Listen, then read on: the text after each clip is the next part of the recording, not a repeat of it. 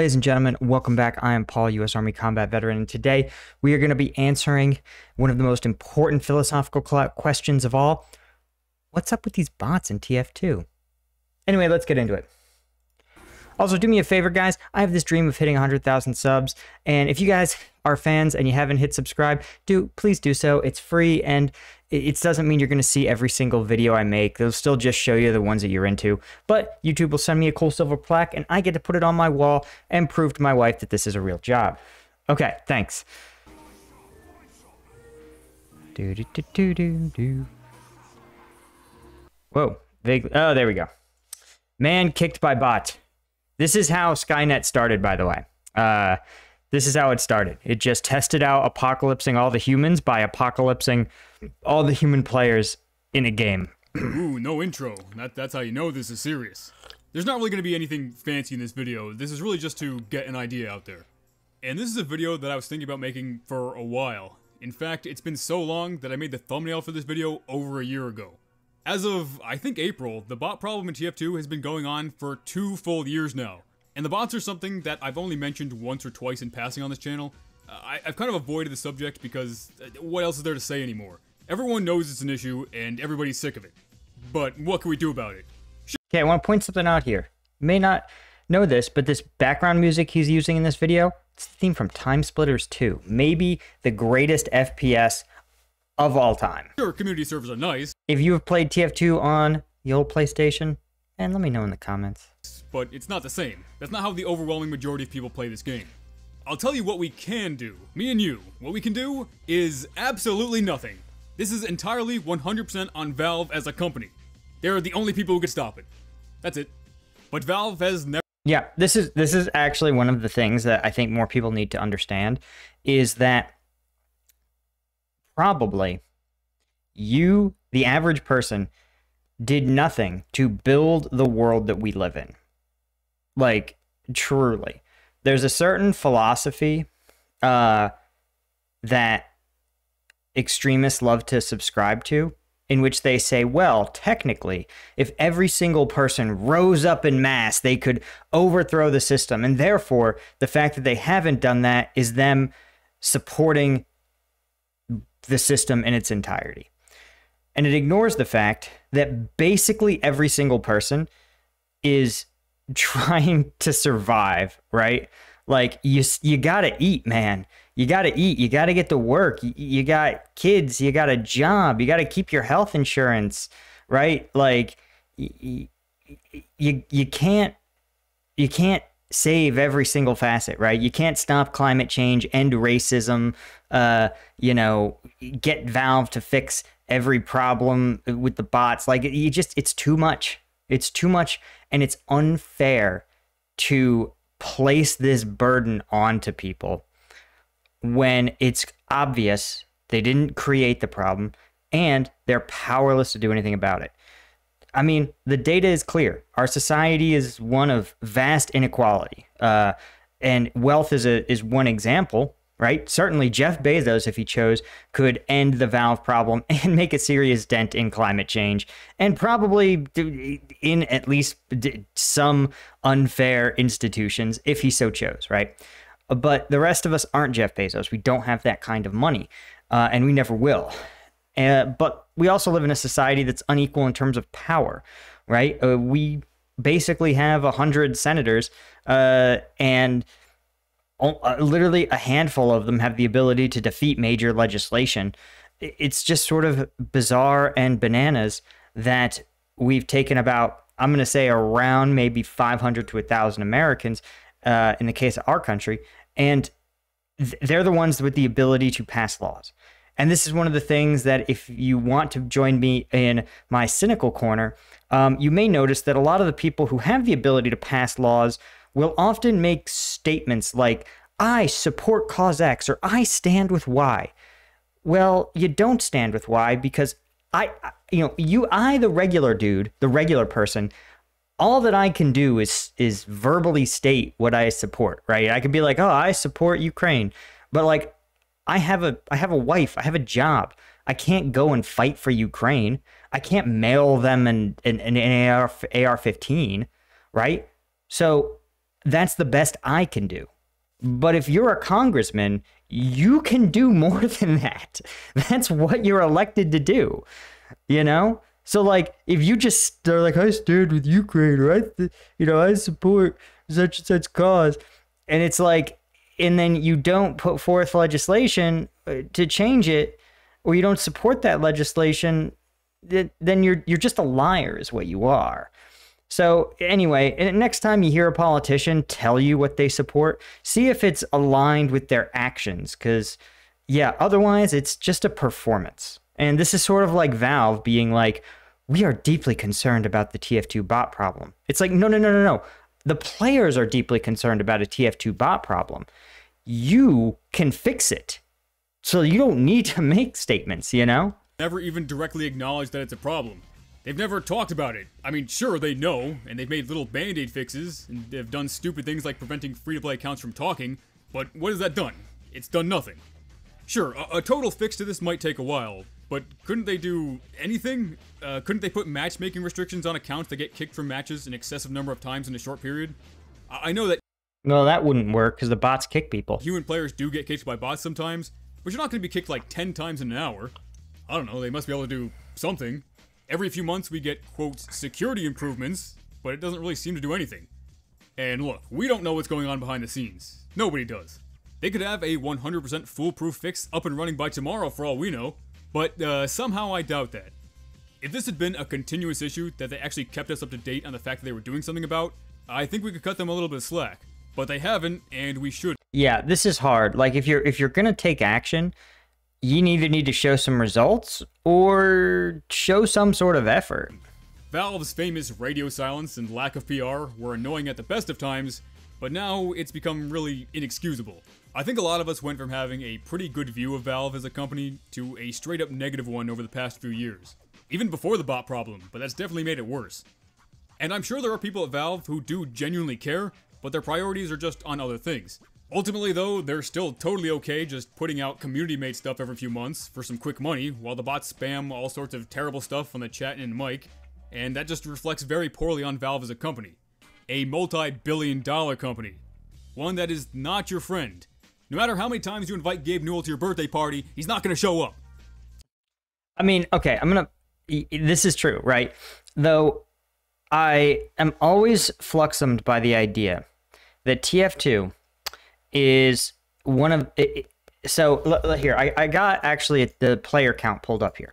And as you can see, when this game debuted, or the earliest we have data for, is that it was a 60,000 player game. A true mega hit, right? And you can see as the updates got pushed, it maintained a pretty solid community 50,000. It actually grew.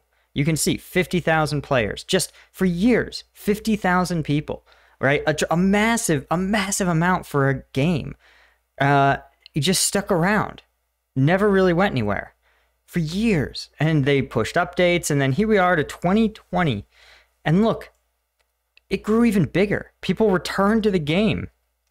You can see it's grown by almost 20%.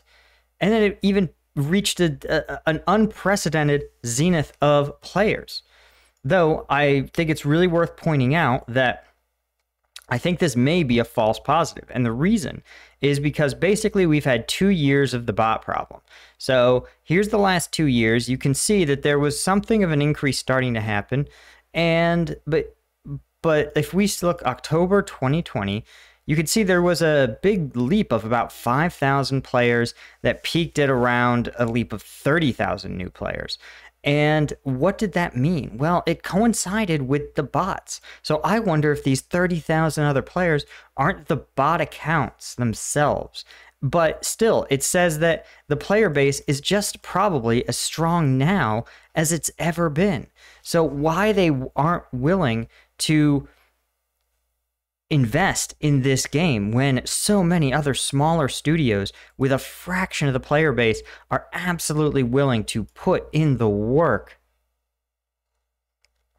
It's embarrassing for Valve and it's questioning their like corporate decision making to be like, "Hey, this is an old product, an old franchise, but surely a game this easy, you imagine, would be, or a game this old would be easier to patch than something with elaborate mechanics. But maybe not. Maybe the programming is actually really, really in depth, and years and years of code stacked on code, stacked on code make it tough. But there has to be some sort of just to see Valve trying, right? To make the bots at least at least have to redo their programming because the bots have to make be making someone money, right? They seem to advertise things sometimes, but if you but they can't be making that much. If you run 10,000 bots, I'd be shocked if it makes if it gets uh, 10 clicks to your link. So in that case, you think that even a small obstacle, even a speed bump sized hurdle for the bots the botnet users to have to leap over is going to be sufficient to deter a lot of bots in the game. I've tried. But I'm not here to just keep talking about how terrible things could be. I actually think if we were to somehow ignore both the bots and Valve's lack of attention, and I know that's a big if, but if we were to do that, I think the TF2 community would actually be in a pretty decent state. But the bots are obviously a huge problem and they can't really be ignored. And I put a lot of thought into whether or not I should make something like this, but after two years of bots controlling TF2 and making it literally unplayable at times, I think maybe we're at a point where we need to make a big deal out of this. And what do I mean by that? Well, let's go back almost 10 years to when another Valve game community was mad about the fact that they didn't get an update. In 2013, when people were upset that there wasn't going to be a Diretide event for Dota that year, the whole Gib Diretide meme started and it got spammed everywhere. Now, this wasn't necessarily the best look for the Dota community, it just kind of made them look annoying and spoiled. That's pretty funny. But you know what? It worked! they got their update. And maybe doing something similar for TF2 might make the community look kind of childish, but in my eyes, there's a pretty massive difference between being mad over the lack of a holiday update and getting the game to not be overrun by bots. Of course, we want updates too, but, you know, one thing at a time. So here's what I did. I went to the People at Valve page and found every single one of them with a public email and sent them this. Header, TF2's rampant bot problem. Hi, you gotta say hi first. TF2's bot slash cheater problem has been a major issue for two years now. Very little has been done to address this problem, and it hasn't been directly acknowledged by anyone at Valve or the TF2 team. If anyone at Valve could give the community an update on the situation and let us know what's being worked on and when it might be fixed, that would mean a lot. And if this email could be forwarded or shared to anybody more directly involved with Team Fortress, that would be very much appreciated. Wow, what a professional email. Guys, I just want to point this out. You know, you can really get a lot further with professional, uh, courteous uh, emails and messages than with vicious, virulent, toxic spam. I know this seems obvious, and yet toxic spam seems to be the default mode of communication on the internet. Thanks. There, it's short, it's sweet, it's to the point. Uh, I even sent it to the big man Gabe himself. Is this email going to make a difference? Absolutely not. It'll probably just be ignored. But what happens if they start receiving hundreds or even thousands of similar emails?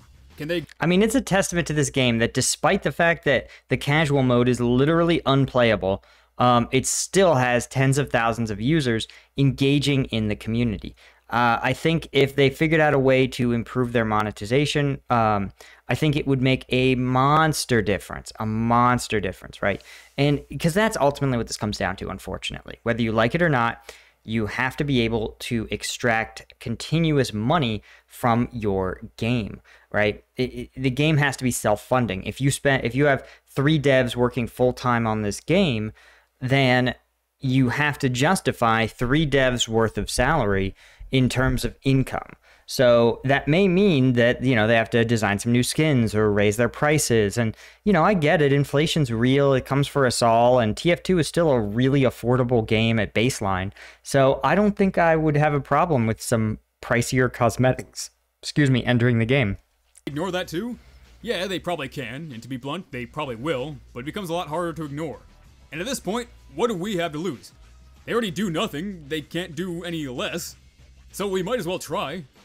Obviously, not everyone at Valve has worked on TF2, but ultimately, there's not that many people at Valve, and they could forward emails easily enough. Now, I'll have to point out what should be obvious, but if you want to do this, only contact work emails and be polite about it. These are company contacts that are made public for a reason, and it's so that we could contact them. I'll leave my email linked in a comment if you want to just copy and Oh, good. That's pretty classy. paste it. Yeah, that's true. I really appreciate him acknowledging. I mean, here's the best part about the TF2 community that I think a lot of people don't appreciate is that because it's a 10 year old game or more, people are grown ups. They just are polite. They understand that, like, this is how you have to navigate the world. They're not Dota 2 weirdos commenting on White House Instagram posts begging for Diretide right? That's that's the like juvenile teenager type of thing that makes you think that's how you affect change in the world but it's really not. Um, you would be shocked at just how calling emailing trying to find the right person because somewhere there's someone with their finger on the switch. There's someone at valve who can sit there and make a phone call and send an email and have a couple devs trying to solve this problem, right? Make it a priority. Someone sets those priorities. And the question is just getting in their ear and making the case to them that this is worth it, right? But it's got to be worth it financially. That's ultimately what has to happen. And that's how Valve has to operate. And I get it. Valve owns Dota, another massive, massive monetized uh, franchise that dwarfs Team Fortress 2 in terms of daily active users, I think but I would suggest just making the header about TF2 and bots and keeping the email relatively short. It's unfortunate that we'd have to resort to something like this, but again, this is a corporation and these are public work emails.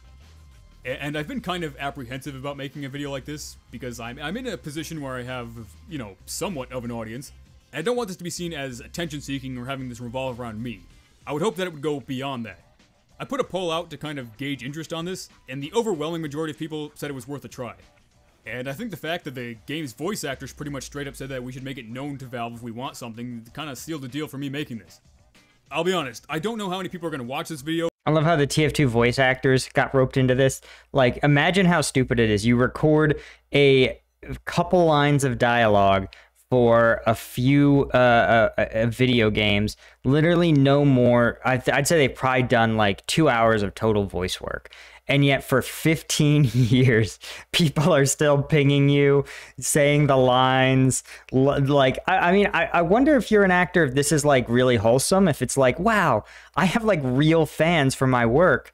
Um, you know, because I'm sure a lot of actors never get much recognition at all. You know, they become their their alien number three in a Pixar movie, or they're you know uh, uh, talking dish rag in a Dawn commercial. Like you just don't get any recognition um, just to have a role that people go wow that's like an icon you were you are have an iconic role like maybe that's a kind of a cool feeling for them because I think a lot of people are just sick of bots and sick of hearing about. Plus, if you're a voice actor, like it's not like people are gonna recognize you. Like you can't go out anymore because people will know that you're medic. The bots, and maybe if you did watch this, you still think it's a stupid idea, and maybe it is. But we've tried nothing, and we're all out of ideas. Isn't really cutting it anymore. I don't think that this is going to suddenly cause Valve to communicate more or actually have decent PR, but it might do something. And at this point, there's nothing to lose. If you think contacting gaming news sites would be more effective, uh, that's worth a shot too. In fact, if you want to leave some gaming news email addresses in the comments to, to contact, I say do it. Let's do it all. Let's start sending some emails. And I've never once done this. I've never been that good. I actually think that might be good, right? Like how I, I would love to know on Steam uh, Steam's like ranking charts, how popular is TF2? I, am literally looking this up now.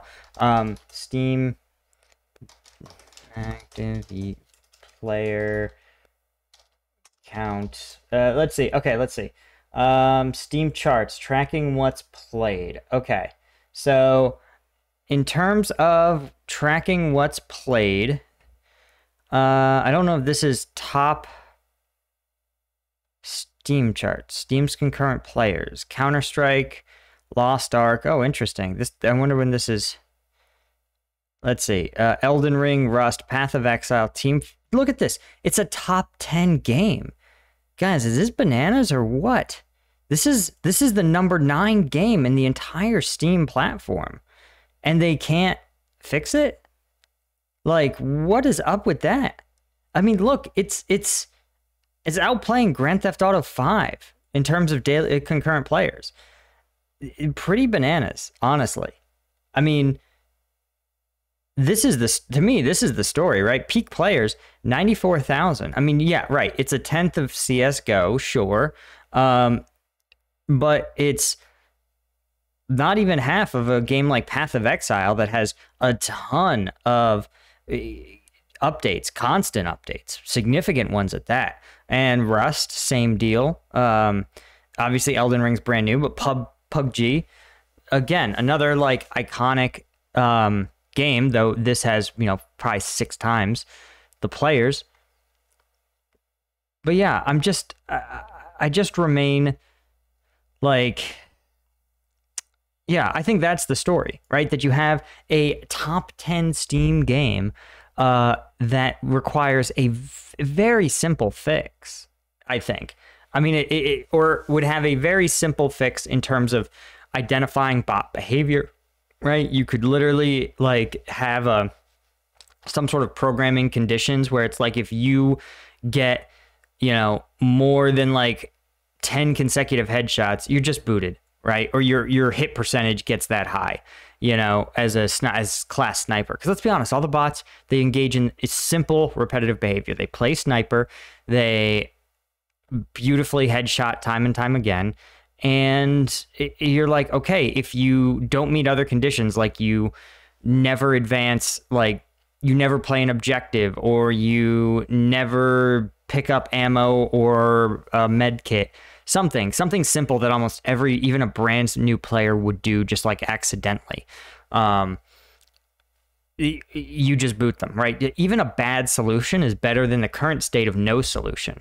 Guy but if this is something you agree with you could maybe you know share this video. I think that's a story right there that a, that a top 10 game is overrun by bots and valve cannot bring itself to do anything about it. Or just spread the idea around about mass contacting valve or mass contacting gaming sites this video won't be monetized, so I'm not getting anything out of that. It's just it's just about the principle of it. Or if you're also What a Chad. a YouTuber of any size and agree with this, I say make a video about it too. The more people here, this is me making a video about it, honestly.